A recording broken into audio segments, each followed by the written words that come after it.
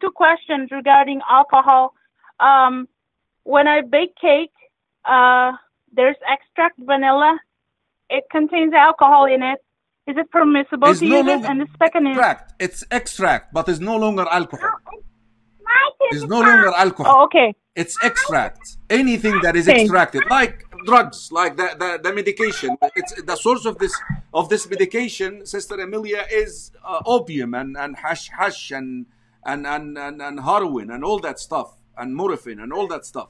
But it's abstract. Okay. So جزاك الله خيرا بارك الله فيكي.